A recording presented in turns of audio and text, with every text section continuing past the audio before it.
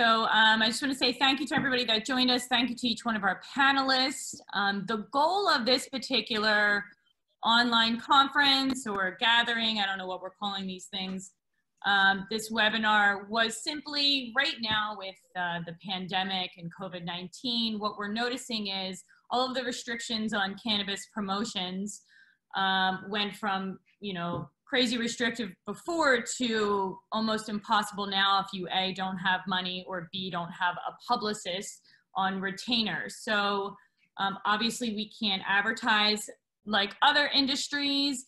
Um, and our main source of promotion and exposure over the last at least seven years that I've been in cannabis has been events. Obviously, that's not happening now. So, with our reduced options, we just wanted to bring together all of the most uh, recognized publicists and journalists within the industry, which I think we've done a pretty good job of grabbing um, most of the key publications and PR firms um, to discuss what the options are for brands now on a budget to really be able to grab some exposure and, and maybe just some helpful tips for earned media, email marketing, digital PR and marketing, um, and social media. So this is gonna just be more conversational. I'd like to go through and let each one of the panelists um, I guess I should introduce myself as well. Let me back up. My name is Cynthia Salarizada. I'm the founder of Axiswire, the co-founder of Green Market Media, and I'm also the founder of um, House of Saka. So with my you know, extensive knowledge and experience within PR and marketing within this industry, I thought it would be a good idea for us to do, to do this at no cost to help all of the cannabis brands um, have some better insight on how they can garner some some earned media and you know do a little extra in their social media um, during these times. I'm going to go ahead and hand it over to Terry next, and then why don't we just go through? Well, I don't Cynthia, know how. Why don't we just introduce the people when they get to their section so that people like the attendees can, can that way. Like that's otherwise, it. everyone for joining. I'm going to hand it back over to Debra, and she's going to take it from here. Great, thank you. Um, so, as Cynthia mentioned, that we really are viewing this more as a dialogue versus having a stayed formal panel with three people or two people. We really wanted to bring everyone together. And as she noted, you know, you guys are the best and brightest. And we wanted to um, have this a little more casual and a little more uh, flexible. So that's why um, we've got so many people. Um, I'm kicking it off with really talking about the state of journalism today. And one of those, uh, what I'm going to do is present some slides right now uh, that I put together. And so right now, um, the state of journalism is it's pretty, it's it's been pretty rough. Um, what's kind of interesting though is with people home and working from home, they really are wanting a ton of content. So this is a new survey that just came out from Dukas Linden. 56% said they want to see and read more stories about business plans to recover from the pandemic. So that was super interesting. Um, 62% of investors want more coverage on business recovery versus non-investors. So that that kind of makes sense. You've got um, investors that really want to see, okay, well, how are companies going to come out of this? 46% um, are reading or watching more financial news than before the pandemic. So that's great for you know some of us like uh, Business Insider and MJ Biz Daily. So they really want to get uh, this business news. Only 26% said they're consuming less. So people are really glued to their screens right now. Hold on, Debra, can you put it on presentation mode so it looks a little bigger? There we go. Boom. So despite all the demand, uh, layoffs have increased. So that's what's been really crazy about this. While people are really wanting to read more content, we're seeing layoffs in journalism. Financial Times got 50,000 new subscribers, but they cut the staff hours, they cut the executive pay, the contributor uh, budget was cut. The Economist laid off 90 people. All their top executives took pay cuts. Quartz resu- re- reduced their staff by 40% later. And this, folks, this has all happened within the last few weeks, all of these layoffs. Um, Vice Media, 5% of their workforce. I thought this was super interesting. The digital uh, news for Vice Media is 50% of their cost, but it only brings in 21% of their revenue. Cheddar closed their LA studio. Um, that included our, our uh, colleague, Chloe Aiello. She was let go. Uh, Vice also let go Alex Norcia. He was reporting on vape uh, trends. Basically, 36,000 jobs have been lost in journalism right now. Um, here's what's really happening. Big tech is destroying digital media. Google and Facebook carry our news content, but they don't pay us for it. Um, when people started to have started to complain, they've done a little bit. Uh, but here's what's kind of interesting that's happened just lately within the last couple of weeks as well. France's regulators are demanding Google pay publishers. So we're all crossing our fingers that goes well. Australia's regulators are also negotiating uh, with for platform payments for publishers. So they're trying to save journalism as well. So big tech's response was well, Facebook started paying some select big publishers directly, but that doesn't help us little guys. And Google started handing out grants for experimental journalism, but really that was described as a faux philanthropic handout. Um, now Facebook and Google said, yeah, but we give you traffic. Isn't that great? Well, that doesn't really pay the bill. Um, here's another really um, unique situation here is the politicians are actually on the media side because they don't want to be the enemy of the media.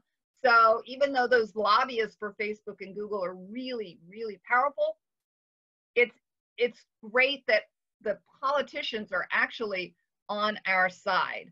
Um, so that's something that I take um, away from that is look, demand is really high right now for news, but the news is strapped because the, the as Cynthia said, the ad budgets have been cut and we can't do events. So it's really um, definitely hurting us. Um, and as she mentioned before, a lot of brands have had to scale back. And so they've cut their PR teams or they cut their ad budgets, they've cut their marketing budgets, they've really pulled back. Um, I think really having said that, now I'm sure is the time to really get out there and promote your brand. And I'm going to turn it over right now to uh, Lewis Goldberg. He is a managing partner at KCSA Strategic Communications. Um, they do crisis communications, they do investor relations. Uh, Lewis has uh, been in the, the cannabis business for several years now. Um, Lewis, fill us in. What's going on um, from your point of view on the PR side?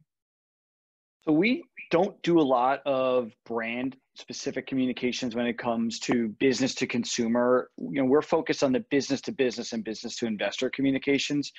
And the trends that you laid out, Deb, have been what's been going on in the media you know for the last 15 years. It's not just that we've seen a, a shrinking of newsrooms over the you know the last you know 15 weeks or even five weeks. I mean, they, they just have accelerated dramatically. Um, but the the trends that you pointed out that there are people who are you know the average investor is consuming more financial news now means that for the Javieres of the world and the Jeremys of the world, they are as important, if not more important than they've ever been um, because of who they are speaking to, which is the investor. The clients that we are working for um, who have either been forced to scale back their budgets or turn off are at even greater disadvantage than they've ever been you know, Bill Gates said, um, if I, it wasn't Bill Gates, I'm sorry, Steve Jobs said the last dollar I would ever spend is on public relations. Um, and that's because we are able to disintermediate um, the the gatekeepers in communicating to target audiences. So working with you at Green Market Report um, and the report, you know, like Warren who who writes for Forbes, um, for Javier at Benzinga, um, there is an appetite amongst consumers and investors for good journalism. The stories are harder to place now. You really have to be able to understand what that intersection of cannabis, the capital markets, and culture is and thread that needle because there is less room for the coverage of extraneous crap. You know, a new flavor of a new vape cartridge is not going to get covered. Mm-hmm. Um, stories that worked well early in the crisis were how the cannabis industry was adapting. Um, so there were lots of companies. that is a very cute dog, John. Um, cannabis companies who were using their extraction equipment to make hand sanitizer. That was a big story for five minutes.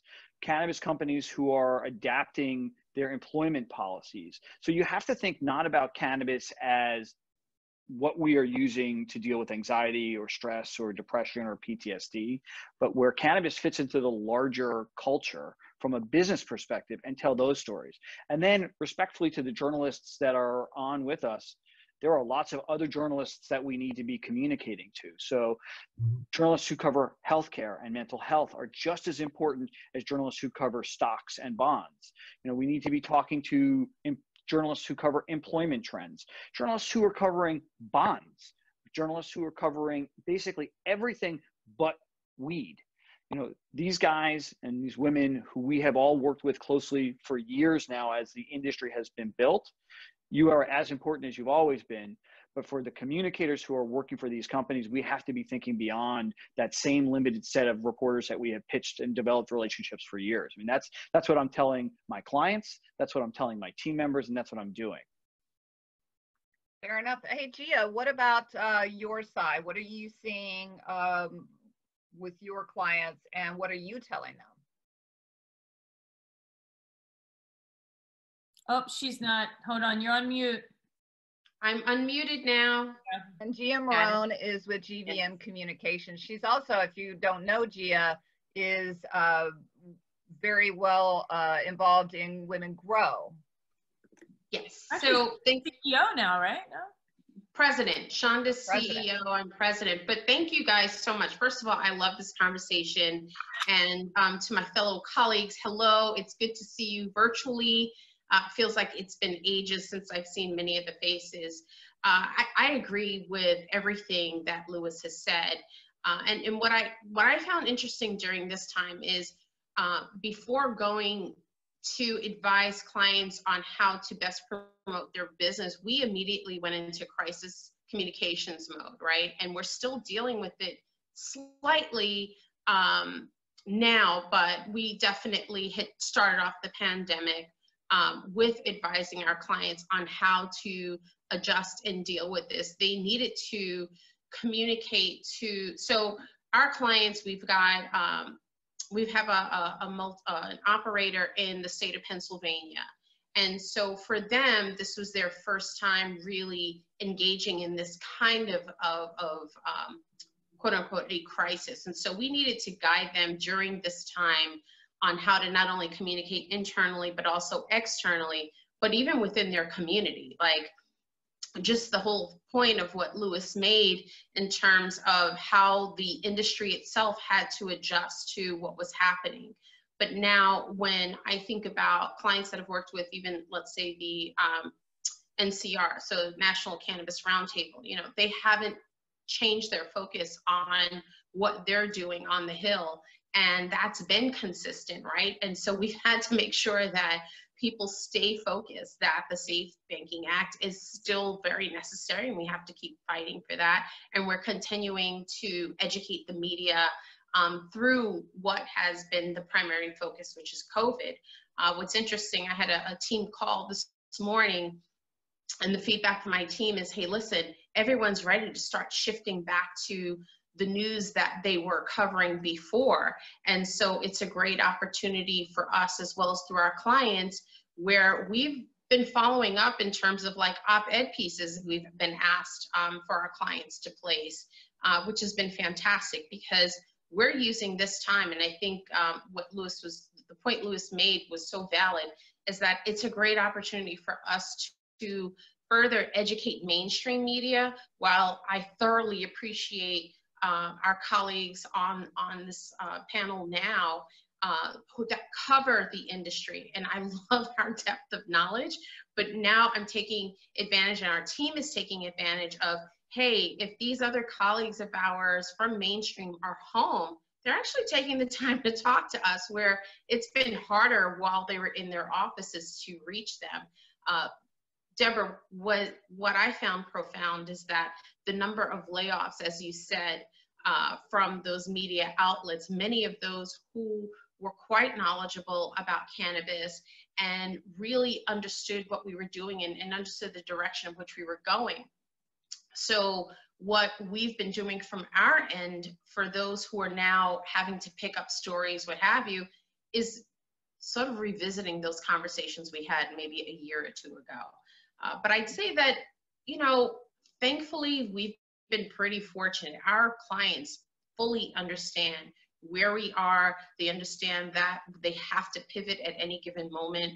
We are utilizing the media in terms of not just uh, providing, of course, quotes and background conversations, but we have been asked on a number of occasions if our clients can write op-ed pieces that are either relevant to what's happening or what they see um, could be happening next. I'd also, I'd also appreciate the fact that with more companies that are shifting virtually, they're really looking for guest um, speakers to come on their podcasts or um, uh, you know, like their virtual, you know, talk shows is what I kind of call them, which has opened, I think, or broadened the awareness, I think, of the general public on who these players are within the industry. And, you know, before it was a little bit more challenging to even get some of those opportunities because people have had to sort of pivot their um, approach to reaching to the general public like these online um, interviews have been great for us as well. We hadn't considered that before, but it's been quite um, it's been quite positive. That's uh, pretty interesting to hear. And I with uh, you know say Cheddar, if you weren't in the New York area to be able to just go down to their studio and jump on a camera, then you were limited. Or if you didn't have a travel budget where you could be at some of these conferences uh, Rosie Mattio, uh, why don't you tell us what you're experiencing and what you're telling your clients uh, with the situation that we're in right now? So, you know, obviously I agree with uh, what everyone else just said, but there are two things that I would address. So one, you know, to the beginning of the, your slide in the state of the media industry, um, and even thinking about even Jeremy, for example, on this call, like people have been laid off. They've been furloughed. Jeremy was asked to pull off his cannabis speech and, and, cover what was happening in new york. So really educating our clients to realize that their time is really limited. And we'd be super sensitive to the types of stories that we're telling because this is and also everybody else is dealing with their own like mental things at home right? So realizing that journalists are people and that we're pitching them it has to be super relevant right? Super relevant to what's happening right now like within COVID and just sort of the bandwidth. So, so that's been, you know, one shift with the journalists who work on a regular basis. But if you also think about it, this is the first time where cannabis has been deemed essential. So to Lewis's point, um, and Gia, is that broadening our reach, we could do that now because this is one of the only industries where you know everything's still ticking. There's so much opportunity that we can be reaching out to journalists across the nation in different regions about how essential it is and how you know they're helping humankind. So it's, it's been a really interesting um, couple of weeks um, and, and really actual watershed moments that you know cannabis is essential. So what does that really mean? What are the implications of that? Like how will that move forward you know in the future? So that's what we're seeing. Thanks rosie. Yeah it's um it's certainly been uh, pretty interesting on the uh, editorial side. And to your point, Lewis, yes, when I get a pitch about a new grapefruit flavored THC drink or a CBD pillow, no, I'm not going to cover that right now. Um, and it's it's just you know it doesn't do you as a PR person any good to have you know the automatic delete when your name pops up.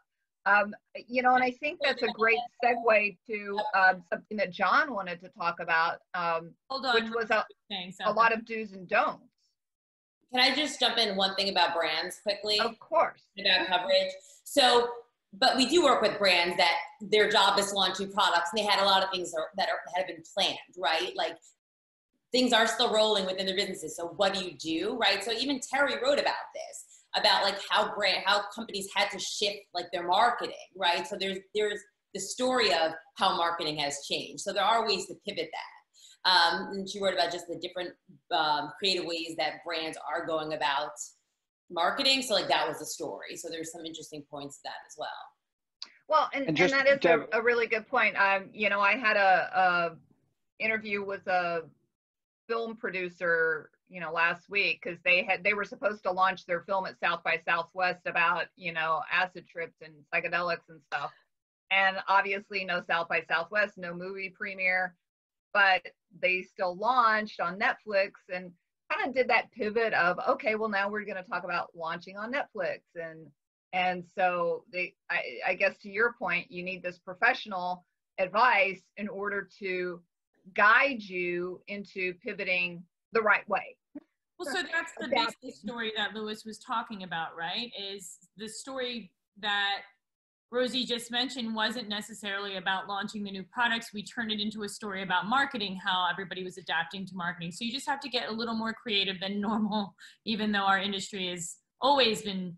For us, this shouldn't be too hard because we everything we do has to be creative and thinking outside of the box. But um, I do think Lewis nailed it in that we have to look at the story and angle it a little bit differently to to that business aspect or like rosie said that marketing aspect and that's how you can kind of promote your brand through that actual angle versus just there's a new grapefruit flavored vaporizer Well, and I and I think Gia raised something really interesting about podcasts, right? Um, using non-traditional media to tell a story has become even more vital. You know, I, I, I, you know, I'm sporting my podcast logo and my yes we noticed behind me, but but the thing here is, it's not as much about this podcast as we are counseling our clients now to create their own shows, right? Um, and it may take time to build an audience, but if you create your own vehicle that is an authentic way of communicating, whether it's audio, video, you know, or or something, you'll find an audience, and it is a way to communicate that is unfiltered by you, Deb, or by Jeremy, or by Javier. And as as amazing as you know the journalists are, the value of working with journalists is that we are ultimately borrowing their brand. You know, you borrow the Business Insider brand, you borrow the brand of Green Market Report that gives you the credibility to tell your story. In a, a wor- in a world, in a world that it's difficult to find time to get a journalist to pay attention to you, and you still need to tell your story. If you create your own channel, your own podcast, your own video blog, whatever it is, you can do that in an authentic way and build an audience. And the key thing though is it has to be authentic. If it is, hey, I have got this amazing new product and let me tell you about it and it's the best flavor and it's the best whatever, people are going to see through that and and not watch. But if it is an authentic conversation about what it is to do what you're doing, you'll build an audience. And that's what you've done with Green Market Report. You've built an audience because it's an authentic communication about the business of cannabis. And and that's why we're con- you know telling our clients guys we're going to work and we're going to we're going to work with the journalists but it's also incumbent on you to tell your story and work around the journalists because there are so fewer of you guys out there and you're pulled so thin that we still have to tell your story let's just do it in a different way And and thank think you, uh, Lewis, john for from that podcast has some too. some Sorry. suggestions I just wanted to thank Lewis for his podcast because my clients have enjoyed their their um, their time on there. It's, it was a lot of fun. Hey, John, why don't you uh, um, run through some of the uh, suggestions that you had, you had sent to me, and I thought they were actually quite good. Uh, thanks, Deb. Um, you saw you're talking about the um, uh, like do's and don'ts for Yeah. uh, publicists that I suggested. Yeah, um, I mean this is uh, something that I've been harping on for uh, actually several years, basically because I've been, um, as, as every journalist on here will tell you, um, uh, handling a lot of pitches from from various PR pros, and um, you know a lot, a lot of companies that uh, are very eager to get their stories told um, for a lot of the same reasons as Cynthia outlined. But what I've found has been much more effective from uh, PR pros is in in building relationships with journalists is more of an approach where um, say you know someone like Cynthia reached out to me and said all right here's um, uh, he, here's what I can do for you. Here's who I represent. Here's who I can connect you with. Um, let's talk about how we can help each other as opposed to um, just bombarding reporters like me with the the same kind of pitches day after day, where it's like, here, let me let me introduce you to this specific company, which is launching a specific brand line, which uh, you know could make for a great story. And yeah, sure, that's that's you know could be an interesting story, but there's hundreds, if not thousands, of product launches, you know, every single month, every single year, and that that that basically is just not going to go anywhere for um, with with most reporters. It's it's much more effective to build a relationship by just reaching out and saying, you know, here's who I am, here's here's what I can do for you. What do you need? Um, what can I help you with? And and that way, um, there's just a lot more mutual um, benefit because the interests tend to overlap a lot more in in terms of that approach, as opposed to just the you know more traditional. Here's here's my client. Here's the story they want to tell. Can I sell you on it? um, I for me for me that almost never works, and I just you know I but I've, I've worked with a lot of PR pros that take that other approach, and and um, uh, I think we both tend to get a lot more out of it that way. You mean John? You don't want an interview of someone you've never heard of? it could be, man. I mean, depending on the story they have to tell, and you know how compelling it is. I just you know it, uh, it, it it's it's still astonishing to me that there are some PR pros out there who, and and I I get that there are a lot of times you know client driven clients that you know have a particular story they want to tell and everything, but um, yeah, that's I maybe that and maybe that's just me.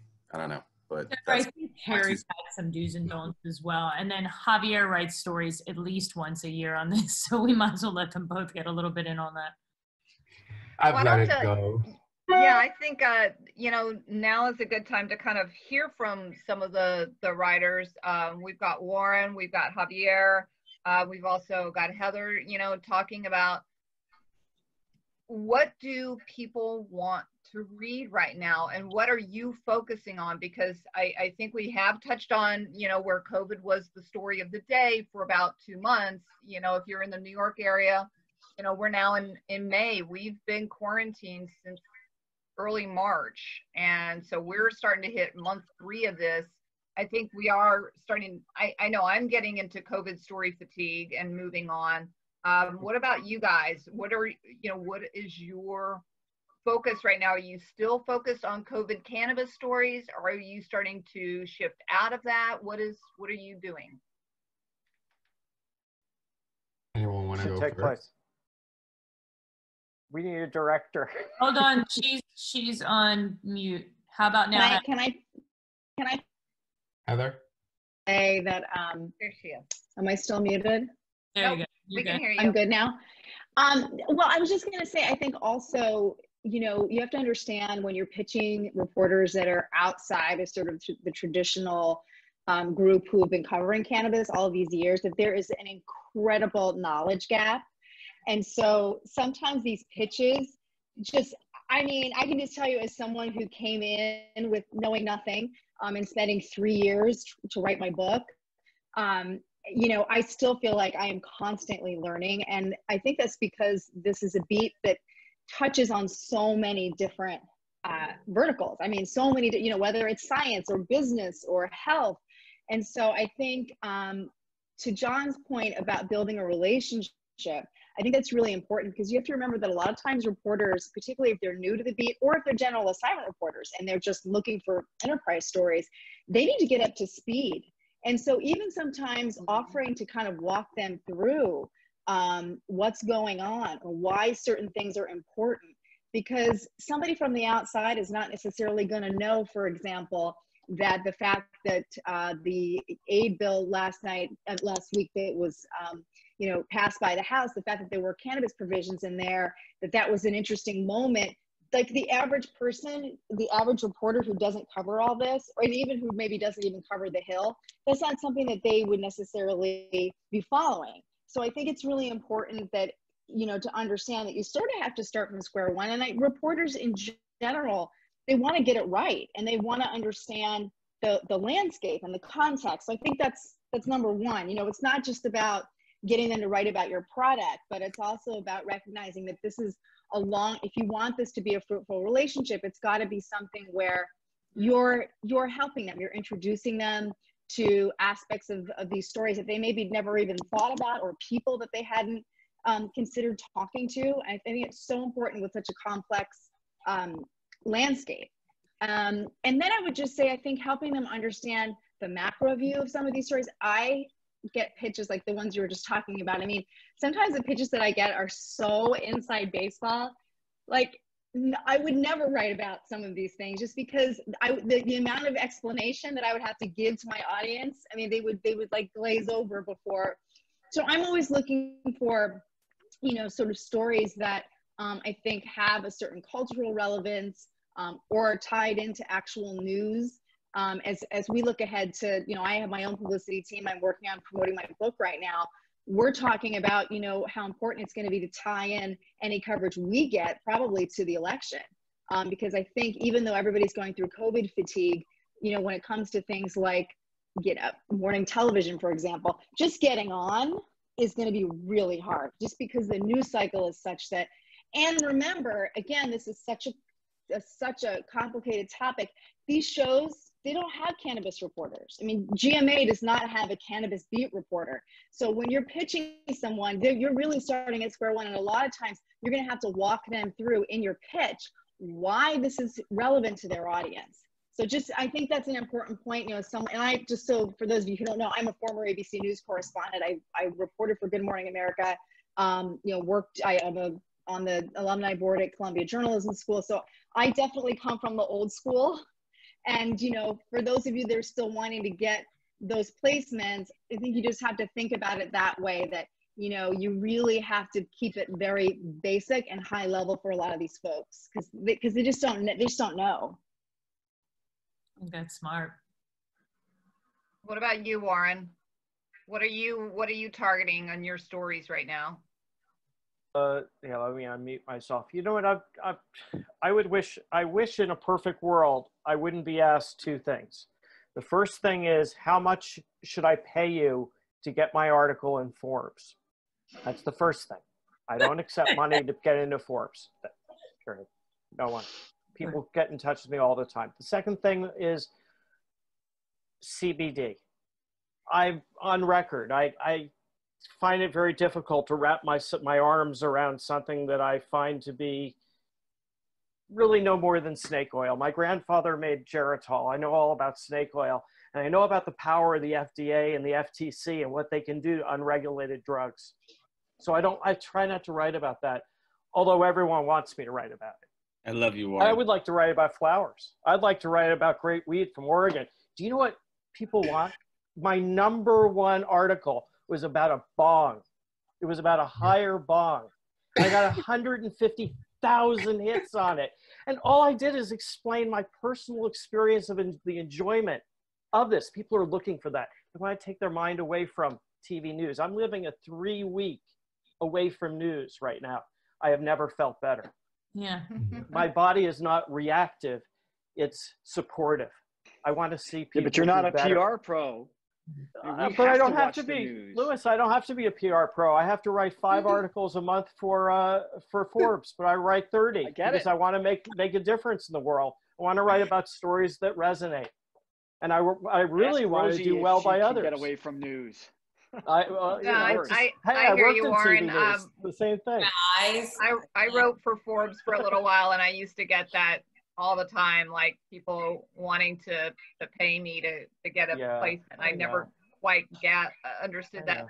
You know, Javier, you know, with Benzinga, you're also on the business side. Um, are you, you know, we're in the thick of earnings season, so you know, Uh-huh. it's, you know, I know I've had to, you know, shift away from COVID, and I'm on the earnings beat, and honestly, the earnings haven't been horrible. They've actually been mm-hmm. pretty decent. What are you are you pivoting over to the earnings now, or are you still COVID camp? I mean, I, I gotta be honest, you know, answering the, the initial question, you know, that opened this debate. What do people want? People do still want a lot of COVID 19 coverage. I posted one article on cannabis and COVID yesterday. It got 8,000 clicks on Benzinga alone. And that is, you know, without counting syndication on Yahoo, et cetera, which I'm sure gets a lot more. Now, you know, what people want is important, but to me, it's honestly, I've never been particularly interested in cannabis and COVID.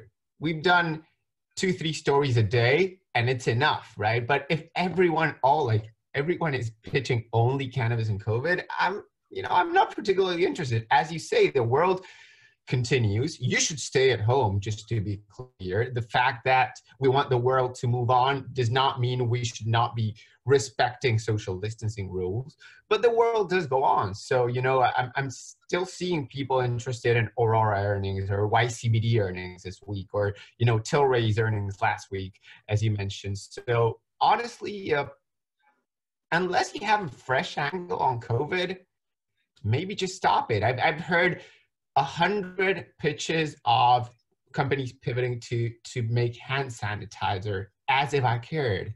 You know, I cared about the first two. It was like, wow, that is crazy. Same yes. for charitable initiatives. I get pitches like we donated a hundred and like a thousand dollars. It's like good for you. Donate another thousand. Don't spend it on another press release. I'm sorry, PR people. I shouldn't be saying this, but you know, it's the right thing to do yeah, I'm I'm interested in news. I mean, especially in cannabis, there's not a lot more to cannabis in COVID. We are essential, we know that. Sales have spiked, we know that. We we are we were not included in the original, you know, federal stimulus package. Not a surprise. You know, the federal government still considers considers cannabis an illegal substance. And now, to a certain extent, we're we're included. That's interesting. But again, like commentary arrives five days late. You know, until we go to a vote, I don't want to hear your opinions on you know the the the stimulus package from five days ago. I've already written about it. but you know, it's it's honestly I'm, I'm i'm all about the regular news cycle we've hired like 10 people since since covid uh, started at Benzinga. Take a moment um, and jump in that Javier has launched a Spanish cannabis news site in the middle of COVID-19. Can you just give us a quick rundown as to why you chose to do it at the time? Did you see an uptick in people looking to consume oh, content? no. So you took it, it was a coincidence. I honestly, it was ready to launch, elplanteo.com. Um, and, and everyone here actually is in some way contributing to it. So thank you for the support. I love you. and um, honestly, just coincided. I'm, I'm, I feel guilty. I feel a little bit guilty thriving in a context where the world is falling to pieces. Um, I'm not press releasing on, on the accomplishments, I do understand that operating companies need to, uh, but it was honestly a coincidence. It was to a certain extent a lucky coincidence. I feel it's almost like this concept of Schadenfreude, where you feel a little bit happy for other people's, you know, misfortunes. It's not that, but the fa- you know the fact that everyone is at home certainly made it easier for me to launch a digital media outlet and and and get traffic right away and get attention right away just because people are sitting at home and googling stuff so that's so that that's, bring I mean, thank you, Javier. And and also, I just wanted to, to quickly mention before we go to our next uh, uh, panelist that Heather's book is called The New Chardonnay. I know she mentioned her book, but she didn't say the title. So it's uh, certainly a difficult thing, as Warren knows, to write a book, um, as he's written several and uh, so quite a few. And uh, so that's a, a, big accomplishment. So you should be proud of yourself. Um, and and Jeremy, you know, we you know was mentioned earlier that you were on the COVID beat for a while, and you just uh, moved back um, on your desk over to cannabis. And John, you're with High Times. You know, you guys have had a lot going on there. Uh, can you two kind of talk about uh, how you're making these decisions on what you're covering, you know, because Jeremy, you're, on the business side and I know you get overwhelmed with the pitches and such. And, and John, you know, for High Times, you know, it's, it's not, it's not necessarily business, it's more cultural and lifestyle. So I'm curious to hear from you guys what your focus is right now and how you're making these editorial decisions. Um, sure. Yeah, no, thanks for, uh, Deborah, thanks for tagging me in there. Um, I mean, for those of you that don't know me, I write uh, I write about cannabis for Business Insider. I was doing COVID coverage uh, in New York for the past two months. Um, happy to be back. A lot less, uh, a lot less death and destruction on this beat, of course. So a little bit more fun. Um, but anyway, so uh, I'll kind of I kind of want to ping back off of a point uh, that that John made. Um, you know, for, for us at least, we're we're a pretty mainstream financial publication. Like we're not an industry publication, so the bar is is really high to go from a pitch to a story. Um, specifically, being you know, I write for a subscription vertical, so um, the value proposition to readers is information that you cannot get elsewhere, right? So um, when something comes to me as a pitch or something as a press release that already sort of denigrates the value of, of what I'm supposed to do. Um, now, all that isn't to say like I'm focused on negative news, but uh, generally speaking, you know, news is something that others don't want reported. Some people do, um, and so that's where that's where my focus lies. Um, whether that is layoffs, uh, which the industry, you know, has gone through a lot, um, whether that's protecting employers uh, against false promises from entrepreneurs, uh, whether it's bringing some rigor to what retail investors are looking at when they decide to make investments. Um, that's where we position ourselves, and that's that's what I'm primarily interested in.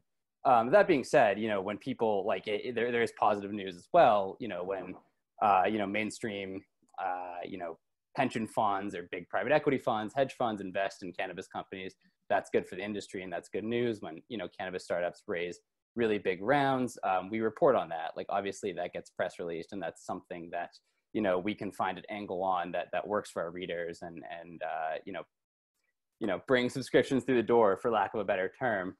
Um, yeah, I kind of lost my train of thought there, but anyways, I I that's that's that's sort of what we're looking at. Um, you know, on the flip side, if if a company is sort of touting that they raised a round, then it's a major down round. Um, using the press release can actually kind of hurt the company because we can easily show like look they're touting raising 35 million dollars uh, when their series b was 70 million dollars something like that. So um, we you know we, are very careful on that and we're very attuned to that. Um, you know that being said uh, again to one of john's points is that you all you know you the PR people that I work with on a regular basis, I very much respect and I listen to, and you guys have eyes and ears on things that I generally do not see. Um, you're all pretty deeply sourced, so that is very helpful to me. Um, when you're like, oh, you should take a look at this company, I take that seriously uh, because I, I, believe those are good companies, and I think you're bringing it to me in good faith. Um, the flip side of that is like, you know, if there's too much of that, it gets a little bit tuned out. It's like these all cannot be good companies because of what I see in the industry, right? Um, so I'll, I'll, leave it. I'll leave it at that. Hold on, Jeremy. Before we move on, I think as PR people from the other side, some of our clients don't understand a lot of times that if they raise three million dollars, that's not Business Insider news, no. not Fortune News. Do you guys have any sort of? And I think John Schroyer, you also at uh, MJ Biz Daily, have some sort of criteria um, in place that you know if there's a certain amount raised or if there's certain technology involved what are your can you each give us a little bit of um, insight as to what's appropriate for brands and companies and even pr people to pitch um, these days for those types of stories jeremy uh, yeah sure, sure. I, I, can i can just dive in on that um, you know the, the I, I guess bottom line, the round has to be large uh, for it to be a standalone story. It has to be large, um, and selfishly, we'd like it to be an exclusive to us. Um, again, because you know, I, you know, just being totally frank about that, like we're a subscription publication. Mm-hmm. Uh, I gotta, I gotta bring subscriptions through the door, um, and exclusives do that. Um, the round has to be large, or if there's an interesting wrinkle, uh, you know, like I said before, institutional investors investing in a plant touching company somehow, if we can explain the financial mechanism or the legal mechanism they're using to do that, uh, you know, that's an interesting story to us. Um, all that being said, like if a client, you know, raises one and a half million dollars and they really, or whatever it may be, two million dollars, and they really want to be in Business Insider, um, there are smart ways to do that, but that's not a standalone story. It might be here. Here's the challenges with doing a small fundraise uh, for a cannabis startup, or here's why this sort of niche part of the cannabis industry is raising money, and look at this example. Um, but it, it, generally uh, it may be too small to be a standalone. Um, Someone know, is asking what's large, right? Like what what's our criteria for large? And and uh, and there, Lewis says 10 million or more. What what do you yes. think? Uh, that's I mean we.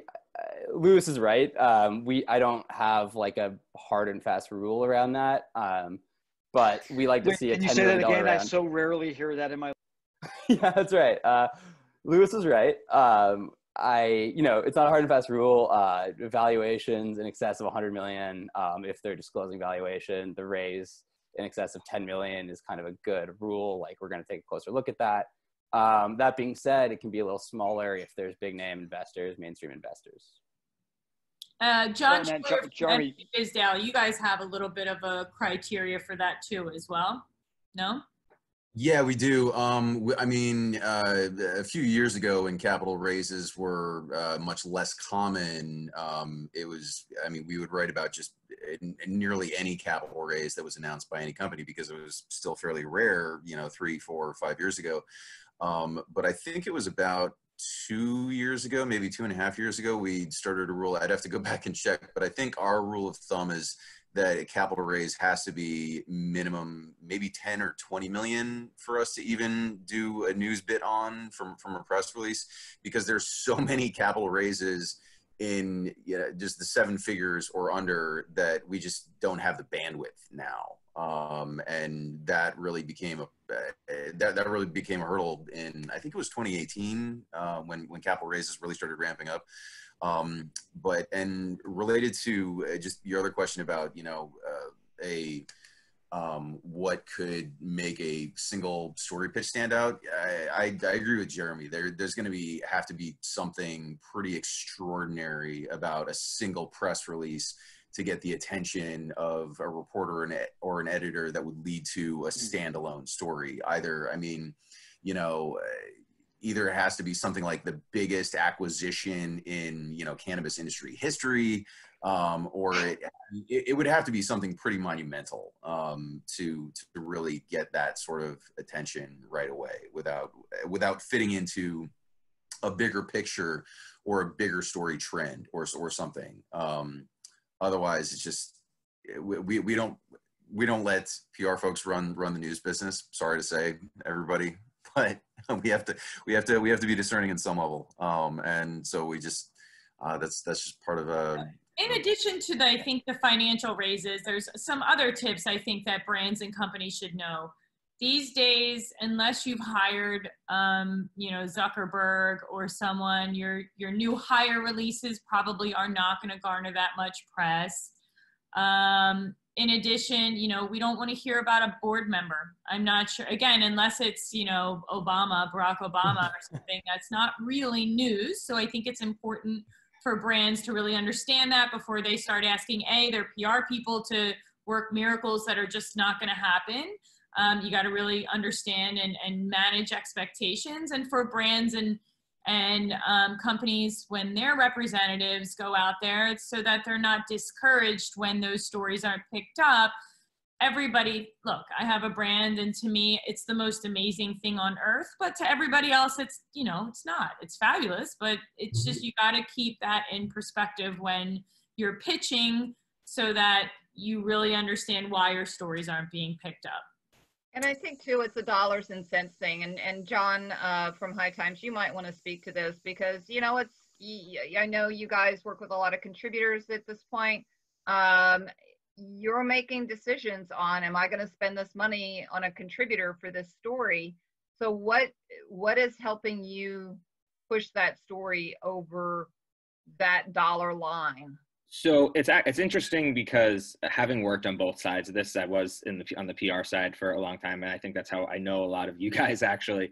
Um, a lot of a lot of what we're looking to do now, um, definitely given the climate that we're in, is, is looking for a positive lift. I mean, since I've kind of come into the role at High Times, one of the things that we've tried to do is shine a positive light on the industry um, and not focus on you know some of the things that. Uh, I wouldn't even call them competitors, but some of the other publications in the space like to make waves off of. We don't really like, you know, push for the uh, for for drama stories. So this hasn't really changed that much for us in terms of COVID, but now more than ever, finding things that like leave a positive impression on the reader is something that we're really serious about, and not just in the sense of like, hey, is this going to make this person feel good, but like, no, this is something that I don't want it to seem like we were going to hold the story or anything like that, but like when you're seeing this, like the tests and reports come out of Israel of how like cannabis can potentially help fight the coronavirus or something like that, we hesitate telling that story now uh, not necessarily because we don't want to celebrate like you know that there's something good is happening for our plant but like i also don't want people out in the street who are just smoking without masks on thinking like oh high times told me it's okay that if i'm smoking weed that like i won't get coronavirus or something like that you know? So it's definitely we're definitely walking a line um, but there's, I mean, listen, uh, in, there's tons of ways to utilize your network and what you're already doing in order to help promote things. So like, for example, uh, one thing that we've been focusing on the last couple months is getting a lot of our bigger pieces translated into Spanish to kind of help, you know, some other audiences who want to read it. Um, there's some hard costs to that, that like, you know, just weren't working out for us. And so Javi happened to be launching his own site at this time and, and going on all these efforts. So if there's a way that like we can work together and I can help get more eyeballs to his content while also helping satisfy my audience with, you know, something that like we can't provide. Like I don't speak Spanish, you know what I mean? I'm not comfortable editing a piece in Spanish, so I wouldn't put it up. But like I trust Javi, I know how great his work is. Like having access to that kind of content and like being able to help push his his message forward i think is a win for all of us. Um, the other thing is like just creating content ourselves. Like everyone on this call has you know a very unique lens into this industry and a perspective that like you know not a lot of people get. So to the point i don't remember who made it earlier but like we have been a lot more receptive to like guest posts and things like that from like leading executives in the space. Now i'm not like saying hey come on and wax about your brand or tell me you know all the reasons why people should work with you. But if you're going to come in and like teach my audience something that like they could help that they could benefit from without necessarily doing it to make money off of them like that's something we're very interested in. Um, there's also like I know everyone has said this, especially on the editorial side, but there's so many pitches right now uh, going out around like, you know, pivoting to making hand sanitizer or donating masks or something like that. And like, there is, I feel like lately we've been relying less on pitches because we're getting so mm-hmm. much from of that noise. And like, listen, I totally get it. Like when your baby does something, you're very proud of it. You want to get as much mileage as you can out of that movement. But like, some of this is the right thing to do. We're in a crisis right now. You know what I mean? Like these people, like yeah.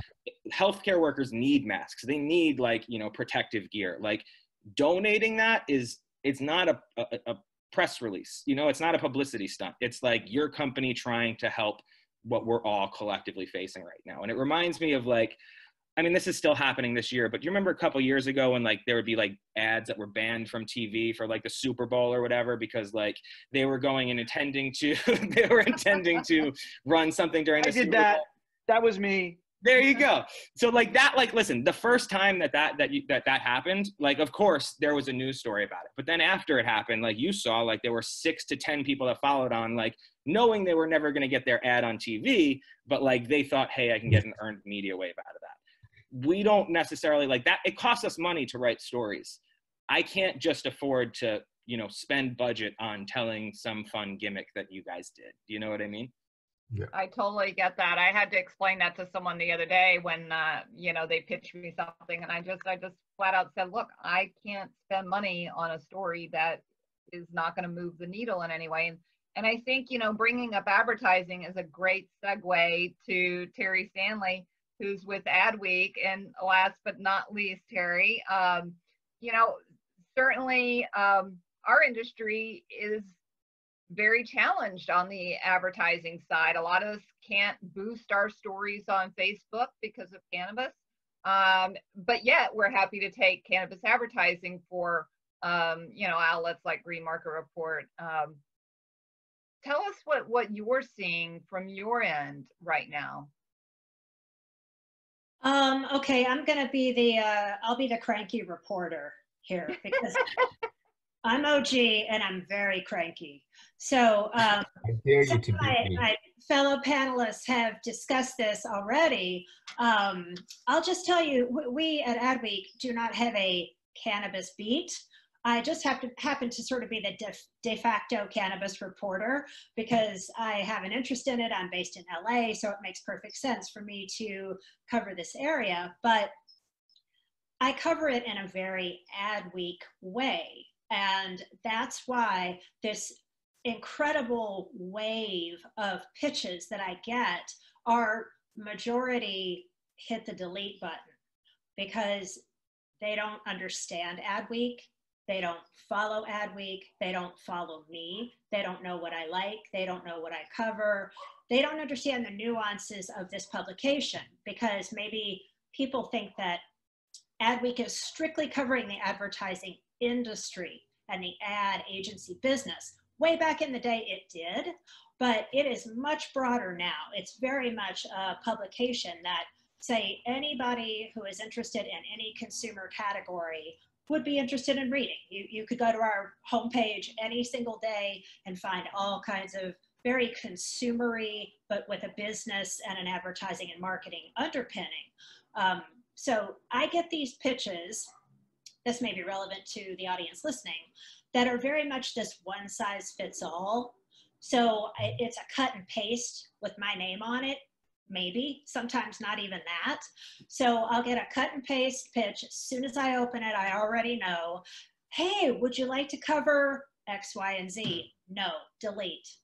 Um, because I can tell that that was CC the world. Yeah. And that really annoys me because I'm a cranky reporter, right?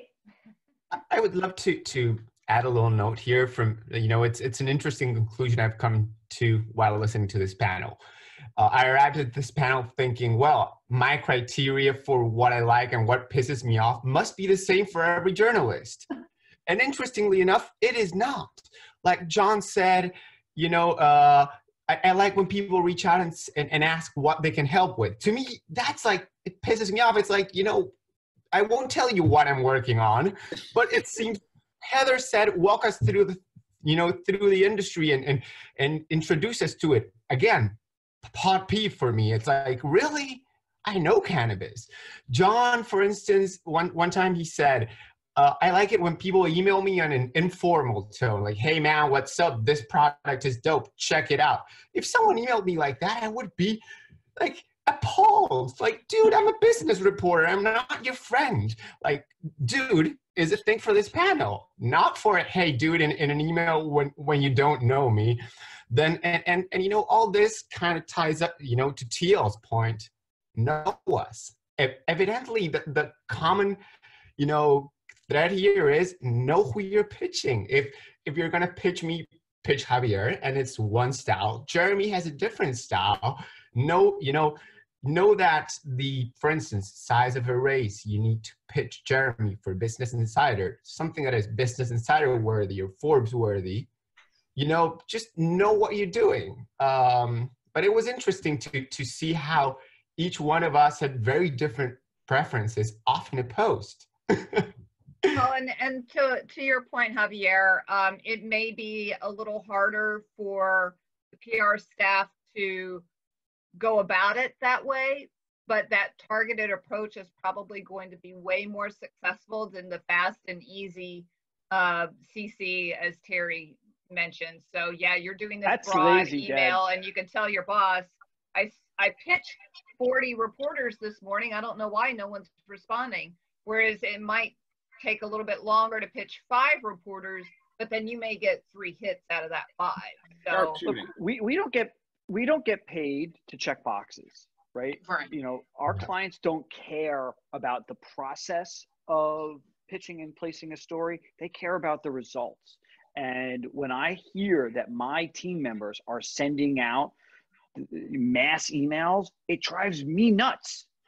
I took the time to develop relationships with every one of you on this call, every single one of you, right? When I pitch you, I know what I am pitching and who I am pitching and why it is right for Business Insider or High Times or Forbes. I don't waste your time. And when I find out that my team members are doing that, they have wasted my time because I am paying them money to do what I do, which is learn who the media is, learn what the outlet covers, learn how to be effective at pitching.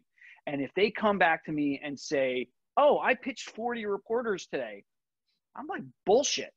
You didn't actually pitch 40 reporters. You may have sent 40 emails out, but did you actually do the research and know what their last four stories were? Did you reference one or two of those stories in a pitch to show the journalist that you have the respect for the time that they put into writing so that they will pay attention to your pitch? Did you actually get on the phone and call them and say, hey, I want to talk to you about something. Not, I just sent you an email. Did you read it? Because if that's what my team members are doing, then I am wasting money on them and my clients are wasting money with me. And it pisses me off.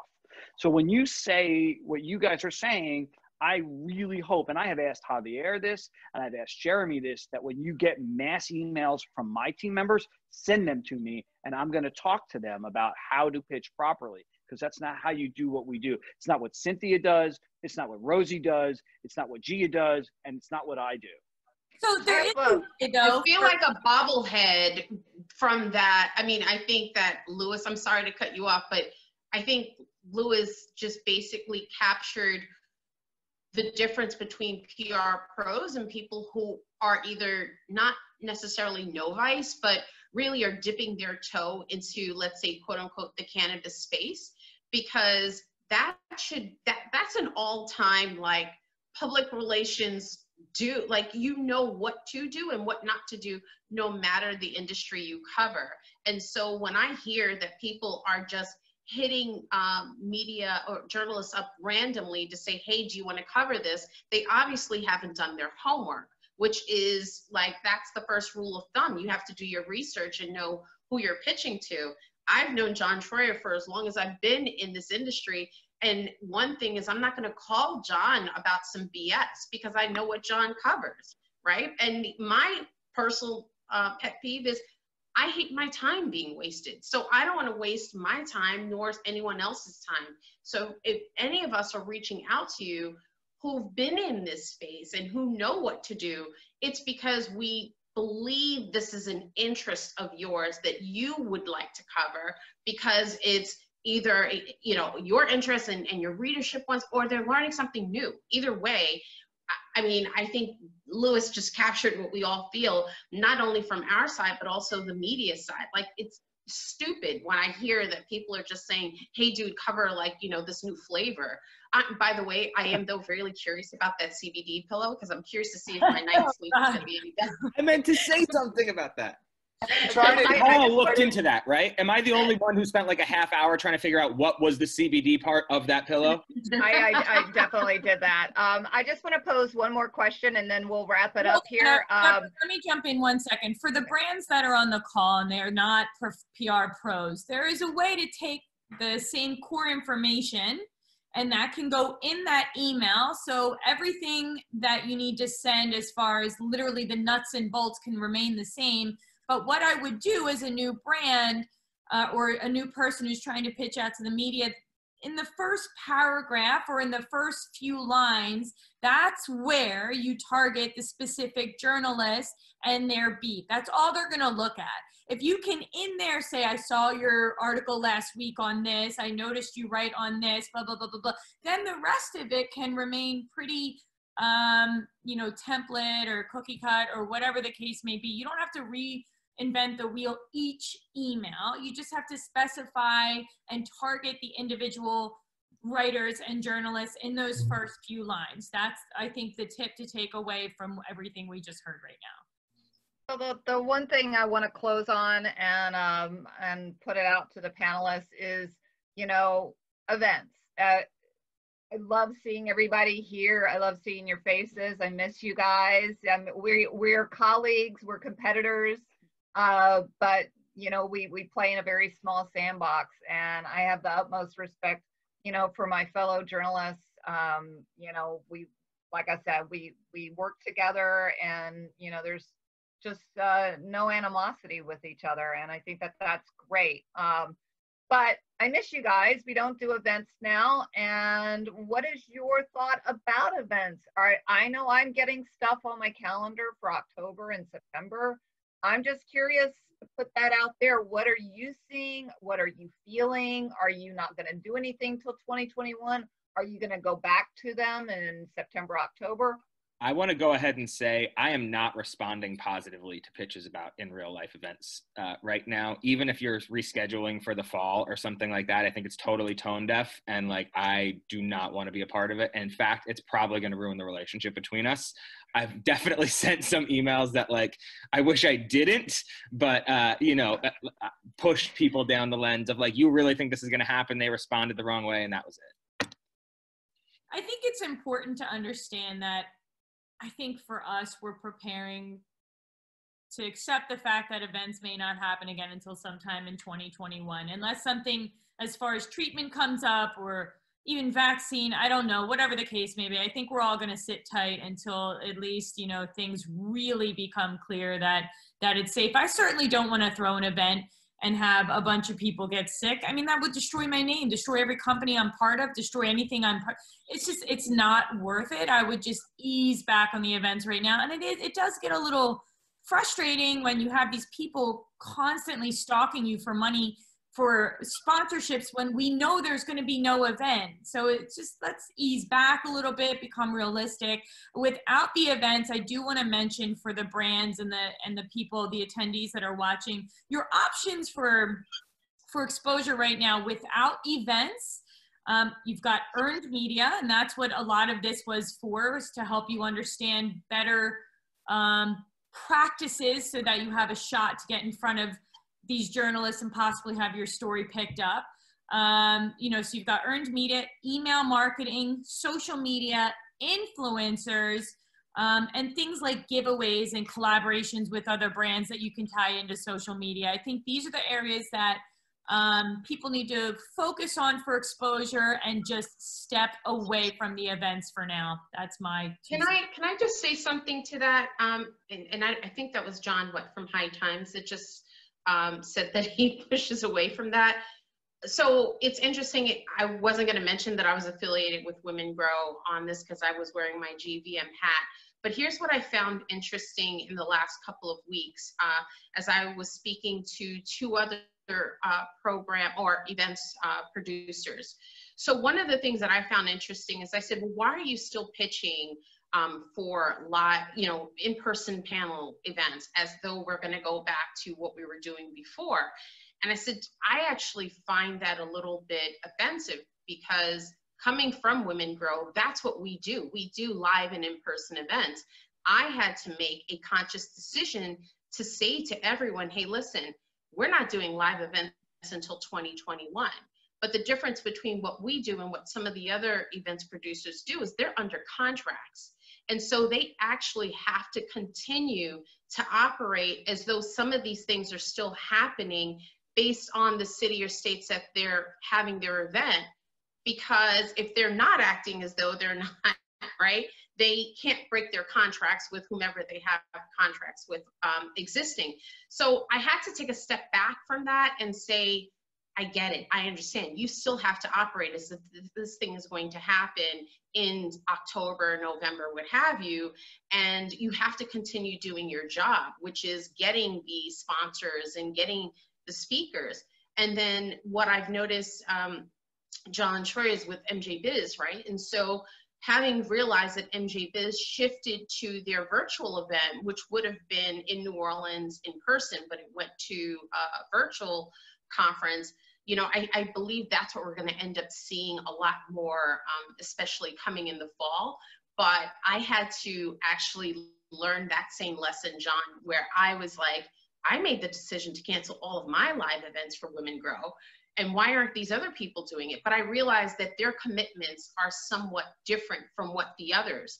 And so until a city or state calls it and says all events, all live events are canceled, they actually still have to operate as though they're promoting because the cities are expecting this promotion for these events. I totally hear you, and I just just to respond to that really quickly. Um, I I have been an event promoter myself. Besides the stuff, the Cannabis Cup stuff that we do with High Times, like my I came up producing events in New York City. Mm-hmm. Um, I totally recognize that, uh, but there's two reasons why I still, even if I was in contracts, would want to make sure that I was outwardly saying, "Hey, I'm trying to protect people. I care about your health." And B, it's also because of like people like like the situation you're in. You know how many people on your team you can't afford to pay right now who are not making the money they're used to making making. The amount of seasonal workers that I have who come and only work the summer, who work on high times events, and then you know are used to having taking the fall off and then making their nut again. Those people are not in positions that uh, they even know where their next check is coming from, and Right. I well again I totally understand you know not wanting to uh, uh, basically uh, balk on contracts or anything like that. I do think it's important that you take this step. And one thing that I have been responsive to are, are the event promoters that are trying to figure out what the next option is instead of just saying, hey, we're still going to assemble even though we don't know it's necessarily healthy. But hey, like, here's a perfect example. The biggest concert of all time just happened on Fortnite. Okay. It was, didn't happen in, you know, it wasn't Live Aid. It wasn't anything like that. It happened in a video game. That's I'm amazed by that. I think that's one of the coolest things that's ever happened. Like that's where I, what I'm interested in. That the guy who set that up, I'd love I'd love to chat with him about what's next. Totally agree. Totally agree. Well, that's been that that was uh, pretty interesting. I you know, like I said, I'm still booked for some stuff in the fall. I you know, I don't know. I you know, and and I would love to return back to events. You know, events. You know, like I'm sure John would uh, agree. Uh, both Johns is you know it's a big part of our budgets, and losing that is pretty painful. Um, but yeah, if the cities and states reopen, you don't have an argument to say no to contracts. But um, listen, I don't want to keep anybody any longer. We we got started a little late. Um, I want to thank everybody once again for taking the time out. I know, uh, as we've all said, everyone's super busy because we're all strapped for time uh, with with fewer people doing more. Uh, thank you for all our attendees. We appreciate you uh, dialing in. Thank you, Cynthia, for helping to set this up. And uh, we will have this recorded and we'll post it uh, later on our YouTube channel. Thanks, everyone. Thank you so much. I appreciate. Have a wonderful everyone. day. Bye. Bye, everyone.